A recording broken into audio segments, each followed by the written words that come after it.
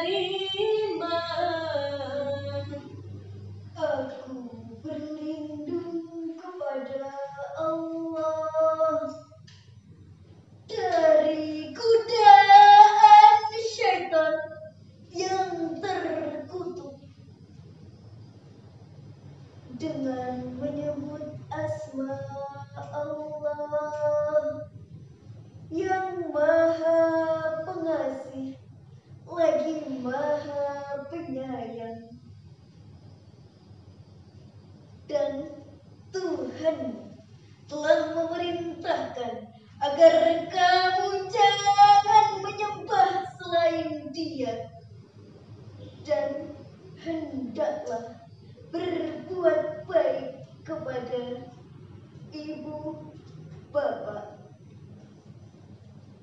Jika salah seorang di antara keduanya atau kedua-duanya sampai berusia lanjut dalam pemeliharaan maka sekali-kali janganlah engkau mengatakan kepada keduanya perkataan A dan janganlah engkau membentak keduanya dan ucapkanlah kepada keduanya perkataan yang mulia Hadirin yang kami muliakan, Dr. Abdullah bin Muhammad Al-Syekh dalam tafsirnya Ibnu Katsir jilid 5 halaman 296 menukilkan asbabun nuzul ayat tadi. Allah Subhanahu wa taala memerintahkan kepada mereka supaya menyembah Allah semata, memerintahkan kita untuk berbuat baik kepada ibu bapak dan melarang kita untuk mengeluarkan kata-kata yang buruk kepada keduanya.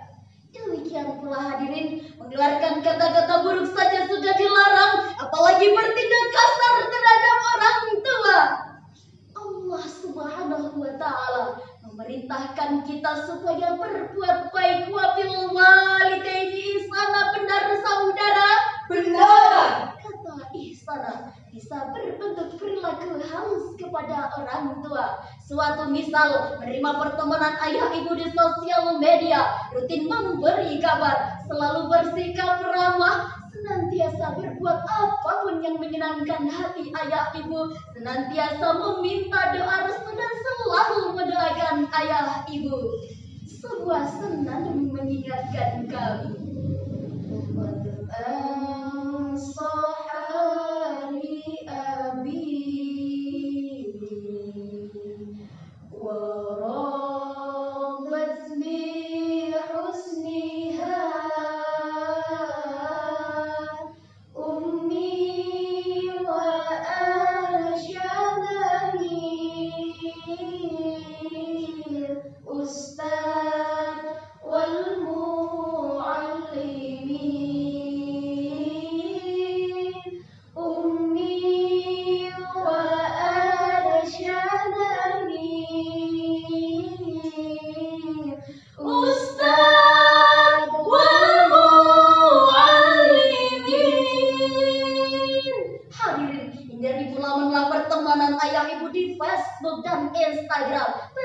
Bersikap cemberut, jarang mendoakan ayah ibu malah tanda rumah dan jangan membentak keduanya.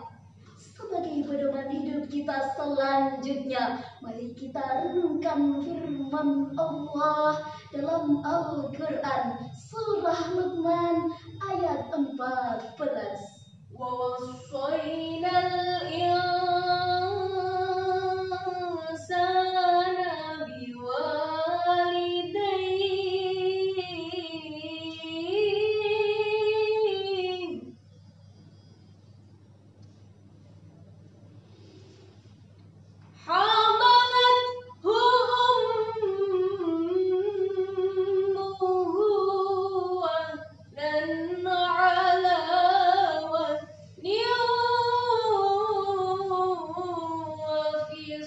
وفصاله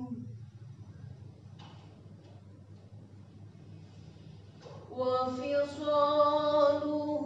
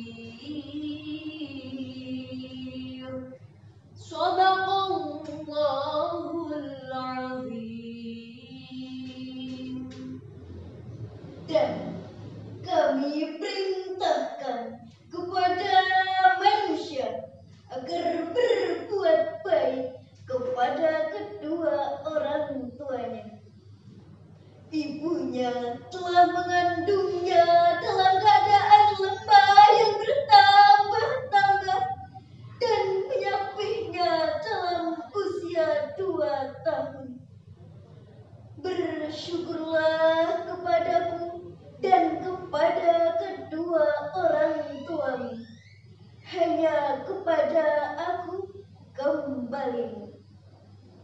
Maha benar Allah yang maha agung. Hadirin rahimakumullah. Ahmad Mustafa Al-Baragi dalam tafsirnya jilid 21 halaman 154 menjelaskan bahwa Allah Subhanahu wa taala memerintahkan kepada manusia supaya berbakti, taat kepada ibu bapa dan memenuhi hak-hak keduanya. Di dalam tafsir ini, Allah juga menyebutkan bahwa jasa seorang ibu yang sesungguhnya di dalam beliau terkandung kesulitan yang luar biasa. Hadirin, kata wawaso bermakna berwasiat, berpesan kepada seseorang. Nah, seseorang itu siapa? Manusia. Kita semua selanjutnya disusul dengan perintah fi walidayhi hamalatu ummu berbuat baik kepada ibu bapa kita, terlebih kepada ibu kita yang telah mengandung selama sembilan bulan, menyusui selama dua tahun, kesulitan dan kelelahan saat tidur dan siang malam untuk kita. Dari data Dukcapil 30 Juni 2021, bahwa jumlah penduduk Indonesia 272,23 juta jiwa. Coba bayangkan jika 85% dari 272,23 juta jiwa pemuda-pemudi Indonesia birrul walidain, maka keberkahan hidup akan dinikmati setiap saat hadirin kemakmuran, kejayaan hidup akan terwujud. Oleh karena itu, ketika perintah untuk berbakti kepada ayah, ibu telah didedikasikan dengan dilandasi mahabbatullah, ikhlas meraih ridhonya. Allah tidak akan menyia-nyiakan amalannya, dimudahkan urusannya, dikabulkan doanya, diwujudkan harapannya serta mendatangkan kebahagiaan dan kesuksesan dunia akhirat.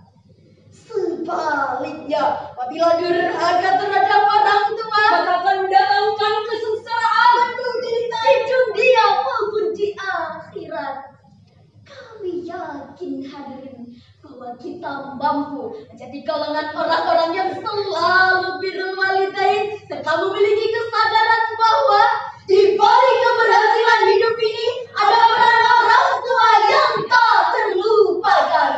Demikian syarahan yang dapat kami sampaikan. Lebih dan kurang mohon dimaafkan. Berbati putih turun ke rawa. Hinggap di pohon pada dahannya. Selalu berbakti pada orang